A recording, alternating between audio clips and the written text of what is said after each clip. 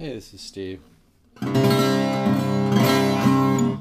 By the way, when I say this is a hard guitar to record, I don't mean it's a hard guitar to record. What I'm saying is that when I hear my wife play this guitar from 14 feet away, or I sit there and hold it and play it live, there's a tone that I'm hearing that is not, you know, something you can capture just sitting down quick like this and doing a, a quick recording. You need to take a little time, like any fine recording.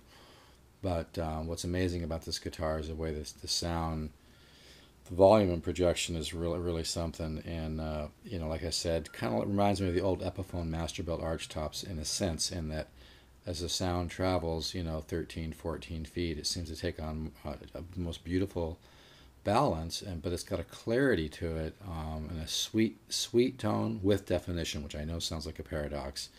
But this is really a special guitar. Uh, I'm, I'm absolutely blown away by it. But uh, we do a little strumming here with the pick to give people a little bit different feel.